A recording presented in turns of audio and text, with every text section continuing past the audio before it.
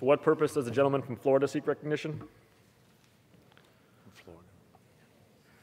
Miss- uh, Madam Speaker, I ask unanimous consent uh, to speak uh, to the House for one minute, revise and extend my remarks. Without objection, the gentleman is recognized for one minute. Thank you, Mr. Speaker.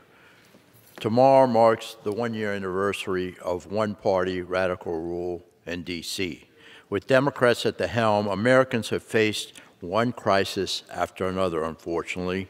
We have the highest inflation in 41 years, supply chain disruptions, workforce shortages in critical industries, spikes in energy costs, record numbers of people and drugs illegally entering our southern border, a surge in crime, national security threats, a series of foreign relation disasters, in my opinion, a mismanagement pandemic, and countless examples of government intrusion into all aspects of our lives. Instead of addressing these problems, Democrats have doubled down on failed policies, have engaged in out of control spending, and are trying to control every aspect of American lives. This is not the way forward. I recently asked my constituents one simple question Is your family better off than you were a year ago? Almost 70% of my the respondents were no. Fixing that problem should be Congress's main priority.